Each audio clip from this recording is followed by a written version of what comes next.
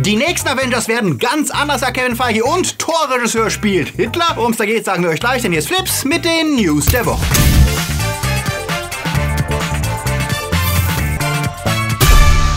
Die Themen der Woche. Netflix in der Krise. Zombieland Reloaded. Angriff auf eure Daten. Will Smith jagt sich selbst. Rocco is back. Per Anhalter in Serie. Superhelden sind Arschlöcher und GTA Goes Glücksspiel. Flips wird im Juli unterstützt von unseren Flips Guardians. Sepp Kerschbaumer, Konrad Moore, Akoya, Anja Scholz, Orno Treibholz, Daniel Schuh, Toni Barth, Alter I und Wir, Dominik Richter, Silko Pillasch, Luca Kamens, Marc-André Schreiber, JFK Faker, Der Twarslöper, T-Unit CB, Sterntor 1, Derby, Nanoska, Christi, Fabio Mattenberger und Dark System. Ein großer Dank geht auch an unsere Flips Junior Guardians. Vielen Dank für euren Support. Wenn dir unsere News gefallen, drück auf den Abo-Knopf. Und für News unter der Woche, folg uns auf Twitter, Facebook oder Instagram. Bam, bam, Double Tap. Zehn Jahre ist es her, dass Zombieland zum Überraschungserfolg wurde. Und nach dem verunglückten Versuch, eine TV-Serie aus den geregelten Zombies zu machen, kommt jetzt doch noch ein Kinosequel. Der erste Trailer verrät uns, dass mit Woody Harrelson, Emma Stone, Jesse Eisenberg und Abigail Breslin die komplette Maincast wieder mit dabei ist. Auch wenn sie mittlerweile alle eigentlich anspruchsvollere Rollen gewohnt sind. Trotzdem machen sie den Spaß mit und der Trailer sieht tatsächlich sehr cool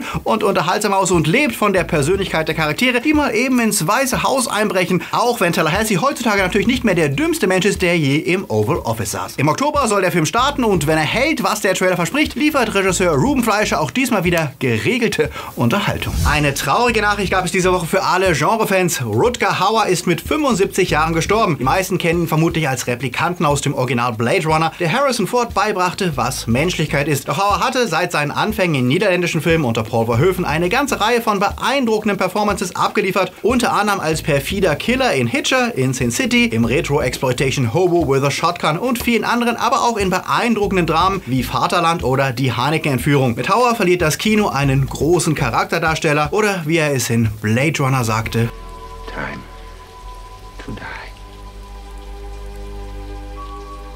Taika Waititi ist derzeit ja hauptsächlich im Marvel-Universum zu Hause, nachdem er ja gerade den ersten weiblichen Tor verkündete und selbst das Akira-Remake dafür aufschob. Doch dass er immer noch seine subversive neuseeländische Ader hat, beweist sein Projekt Jojo Rabbit, das diese Woche den ersten Trailer bekam. Im Film erfindet ein deutscher Junge zur Nazizeit Adolf Hitler als imaginären Freund, den niemand anderes als Waititi selber spielt. Schwierig wird die Situation zusätzlich, als der Junge erfährt, dass seine Mutter ein jüdisches Mädchen versteckt hält. Das klingt sehr schräg, böse und könnte der spannendste Film sein, den Disney, die den Film von Fox geerbt haben, in diesem Jahr herausbringt. Und ja, sie müssen sich damit Mühe geben, den zu vermarkten, denn sie können es sich ja kaum leisten, Taika Waititi zu verstimmen, wenn er weiterhin ihre Franchise-Filme drehen soll. Wäre der Regisseur irgendjemand anders, hätte Disney ihn vermutlich im Streaming entsorgt oder irgendwo anders. So warten wir mal gespannt auf den Januar nächsten Jahres, wenn er denn auch bei uns starten soll. In den USA ist er schon ab Oktober zu sehen und wir sind sehr gespannt auf Jojo Rabbit. Tales from the Streaming Wars. Und ja, für Netflix wurde es jetzt ernst, nachdem sie erstmals Verluste an Abonnenten in den USA hinnehmen mussten und ihr Wachstumsziel von plus 5 Millionen weltweit nicht erreichten, sondern nur rund 2,7 Millionen neue Subscriber hinzugewannen. Seit Verkündung der Meldung waren die Aktien neun Tage lang auf immer neue Tiefstwerte gefallen, was einem Wertverlust von 24 Milliarden Dollar entspricht und ihnen prompt eine Klage der Shareholder einbrachte. Erst am Mittwoch erholte sich der Kurs leicht. Die Investoren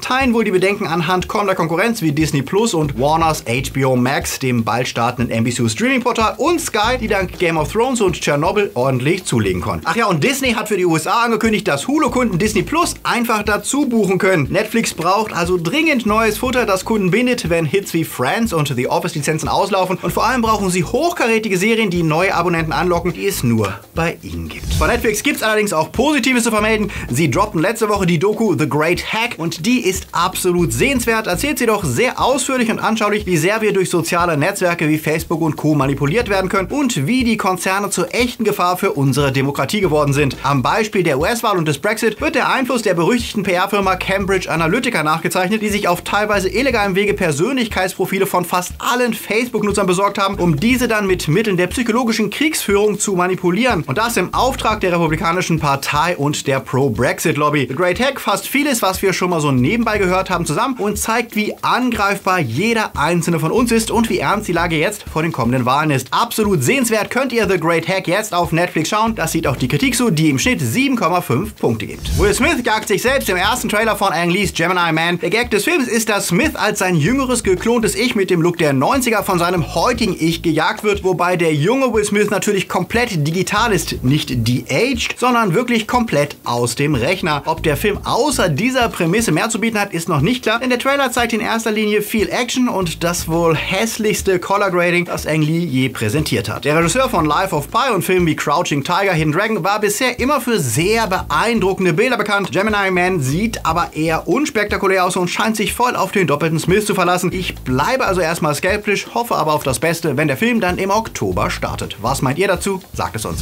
Spider-Man Far From Home hat letzte Woche die Milliarde geknackt und erreicht damit als erster Spider-Man-Film diese magische Box-Office-Marke, was für das problemgeplagte Sony-Studio ein zweiter warmer Regen ist nach dem Erfolg von Venom im letzten Jahr. Nicht schlecht, wenn man bedenkt, dass noch vor ein paar Jahren offen über einen Verkauf des Studios spekuliert wurde. Etwas weh tut sicher, dass der Erfolg dem Konkurrenten Marvel Disney zu verdanken ist, die den Film für Sony konzipiert und mitproduziert haben. Was für Fans aber auch bedeutet, damit ist sicher, dass auch ein dritter Spidey-Film unter Marvels Oberaufsicht als Teil des MCU stattfinden wird, denn die eine Milliarde waren der Benchmark, der vertraglich vereinbart war. Wäre der Film darunter geblieben, hätte Sony theoretisch Spider-Man schon jetzt wieder für eigene Projekte nutzen können. So bleibt Tom Holland Teil des MCU, was aber auch bedeutet, es wird kein Spidey-Auftritt in den Venom oder einem Sinister Six-Film geben, die Sony im Alleingang produziert. Für Disney, die von den Einspielergebnissen nichts abbekommen, dürfte es dennoch ein weiterer Sieg sein, denn nach Endgame und Captain Marvel ist Far From Home der dritte Film dieses Jahres, der die Milliarde knackt. Und da ist die schlimme Version von König der Löwen noch nicht mitgerechnet, die schon jetzt weltweit 730 Millionen eingespielt hat und sicher auch schon bald im Club der Milliarde mitspielt. Und dann kommt Mitte des nächsten Monats ja auch noch Toy Story 4, der in vielen europäischen Ländern jetzt erst anläuft, aber trotzdem schon 870 Millionen eingespielt hat. Die Kinowelt gehört also Disney und Sony tut wohl gut daran, die Zusammenarbeit fortzusetzen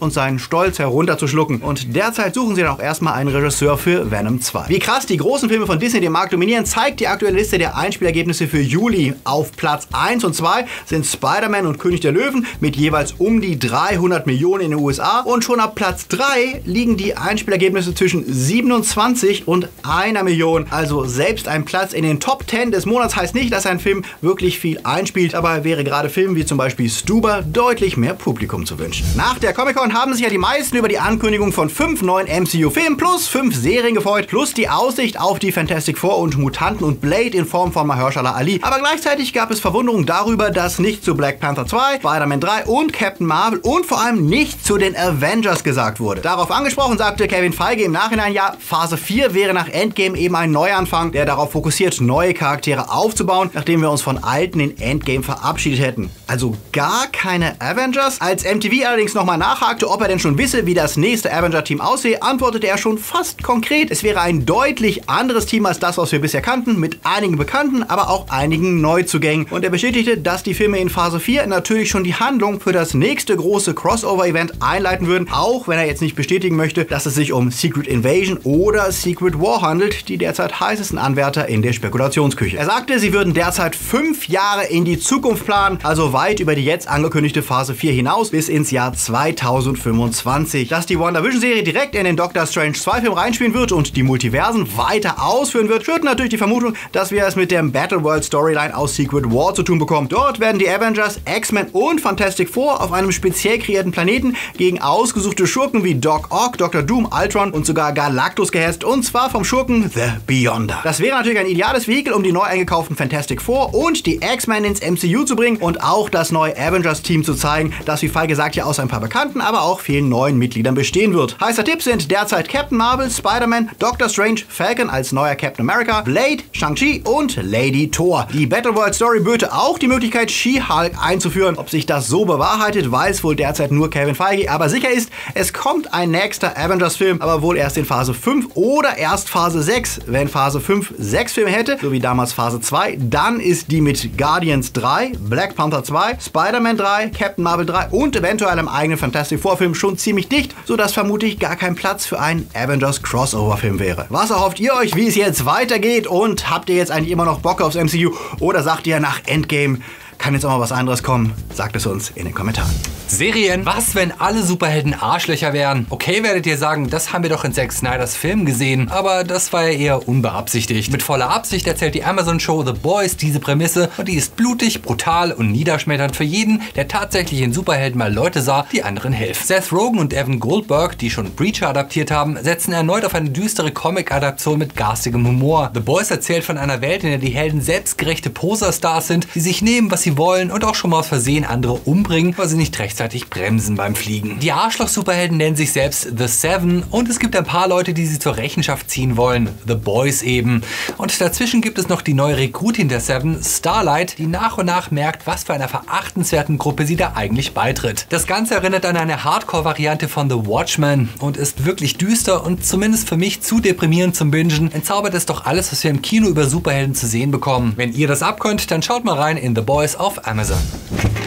Habt ihr eigentlich euer Handtuch dabei? Die Frage wird bald wieder relevanter, denn Hulu plant eine Neuverfilmung des Douglas Adams Klassikers Per Anhalter durch die Galaxis, der zunächst als Hörspiel der BBC und später auch als Buch- und Fernsehserie begeisterte und bis heute Kultstatus besitzt. Nach der eher misslungenen Kinoversion aus den Nullerjahren sind wir allerdings etwas skeptisch, wenn wir von einer neuen Version hören, die zudem auch noch von Amerikanern produziert werden soll. Namentlich von Carlton Cuse, der unter anderem Lost mitproduzierte, und Jason Fuchs, einem der Autoren von Wonder Woman und Ice Age Continental Drift. Ob die beiden den trockenen, sarkastischen britischen Humor umsetzen können, der die Serie ausmacht, oder werden sie auch erstmal eine Love Story ins Zentrum stellen und den Wortwitz durch Effekte und Slapstick ersetzen? Bis jetzt ist wenig bekannt, außer dass die beiden Fans der Vorlage seien und sie zeitgemäß aufpeppen wollen, was vermutlich auch nötig ist, denn in Zeiten von Smartphones erscheint ein elektronisches Buch wie der Anhalter deutlich weniger futuristisch als in den 70ern. Und so wie die Erde heute aussieht, gibt es ja durchaus gute Gründe, sie von den Vogonen sprengen zu lassen. Wir sind mal gespannt und hoffen sehr, dass die Serie eher eine positive Überraschung wird, was ja durchaus möglich ist, für die viel zu früh gecancelte Adaption von Adams Dirk Gently gezeigt hat. Also sucht euer Handtuch und denkt immer daran, was Deep Thought gesagt hat. Kids der 90s trauern ja bisweilen ihren geliebten Nickelodeon-Serien hinterher. Ob Clarissa oder Ren Stimpy oder Roccos modernes Leben und Invader Sim. Für die beiden letztgenannten gibt es jetzt allerdings eine freudige Überraschung, denn Netflix hat die beiden von Nickelodeon produzierten Specials eingekauft, die von den Originalteams von damals produziert wurden. Im August können wir sehen, wie Rocco und seine Freunde aus den 90ern in die heutige Welt zurückkehren und von der modernen Technik überfordert werden. Und auch Invader Sim verspricht ganz der alte geblieben zu sein. Wir freuen uns und sind sehr gespannt nach den coolen Trailern, die diese Woche erschienen sind. Ach ja, und für alle Fans erwachsener Animationen, Netflix hat außerdem die brillante Serie Big Mouth gleich um drei Staffeln verlängert.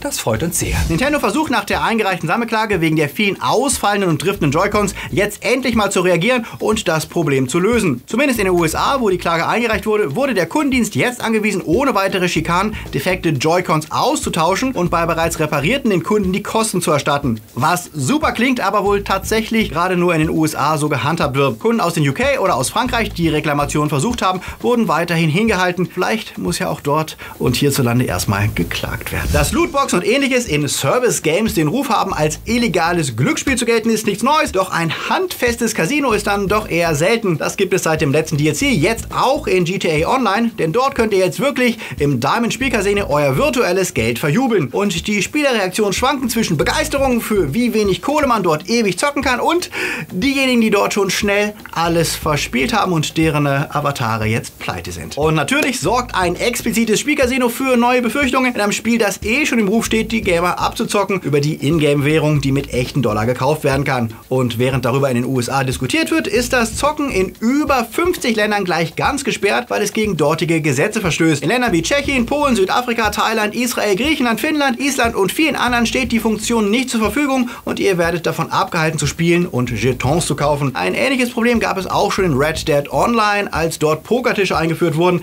aber diesmal betrifft es mehr Spieler weltweit. Die Deutschen allerdings wohl nicht, die können hier also Haus und Hof verspielen, weil die Aufsichtsbehörden hier gerne mal pennen. Na denn, äh, viel Spaß und äh, Pech im Spiel heißt ja Glück in der Liebe. Action gibt es diese Woche wieder in den Starts der Woche. Hobbs Shaw ist der erste Ableger der erfolgreichen Fast and Furious Reihe und diesmal gibt's nur Dwayne Johnson und Jason Statham, die sich wieder mal zusammenraufen müssen, diesmal um einen kybernetisch modifizierten Gangster auszuschalten, der von Idris Elba gespielt wird. Das klingt reichlich trashig und könnte wie die Filme der Hauptreihe trotzdem wieder jede Menge Spaß machen, wenn man dem Trailer glaubt. Das einzige, was uns skeptisch stimmt, ist das sehr harte Kritiker-Embargo. Der Film wird den Kritikern erst am Dienstag gezeigt und erst ab Mittwochabend dürfen Reviews veröffentlicht werden. Deswegen jetzt keine Wertung für Hobbs Show. Anime-Fans haben am 30. Juli jeweils um 20 Uhr wieder die Chance, ihre Leidenschaft auf der großen Leinwand zu befriedigen. Dragon Ball Super Brody läuft dann nämlich in der deutschen Synchro, gesprochen von Tommy Morgenstern, Oliver Siebeck und Kultsprecher David Nathan. Sogoku und sein Kumpel bekommen es erneut mit ihrem alten Widersacher Freezer zu tun. Doch dieser ist nicht alleine, sondern wird von dem verschollen geglaubten Saijin Brody begleitet. Bei der Kritik und den Zuschauern kam der Film gut an, mit knapp 7 Punkten im Schnitt der Kritik und 4,5 bei den Fans. Wenn ihr noch mehr News wollt, von Montag bis Sonntag informieren wir euch über neue Trailer und andere Filmereignisse auf Twitter, Facebook und Instagram, also stalkt uns. Und jetzt könnt ihr noch unsere Frage- und Antwortrunde von Freitag schauen, wo wir Katzen essen und auf Phase 4 reagieren. Oder ihr hört euch das ausführliche Review zu König der Löwen an in der neuen Folge vom Podcast Die Männer aus Saal 3. Den Link lasse ich euch unten in der Beschreibung. Und ja, die Hitze macht uns allen zu schaffen, auch finanziell. Deswegen, wenn ihr Flips mögt und dafür sorgen wollt, dass wir im nächsten Jahr auch noch weitermachen können, dann schaut doch mal auf unserem Patreon vorbei und werdet Supporter oder lasst uns ein einmaliges Trinkgeld per PayPal da. Für ein Eis, für die Miete, für alles Mögliche. Die Links sind in der Beschreibung. Die Time Dots, die ihr hier seht, supporten uns schon monatlich und deswegen geht ein riesen Dank an sie. Genauso wie die Guardians, Junior Guardians und Padawans und die Patronus, die ihr hier seht. Sie helfen mit, Flips zu finanzieren und das ist sehr cool. Wir schwitzen jetzt noch etwas vor uns hin und falls wir nicht schmelzen, dann sehen wir uns schon nächste Woche wieder. Genießt den Restsonntag, trinkt immer genug und seid nett zu anderen, auch wenn sie langweilige Eissorten wie Stracciatella mögen. Aber ich mag Stracciatella. Bis nächste Woche. Läuft. Bei mir läuft's auch. Oh.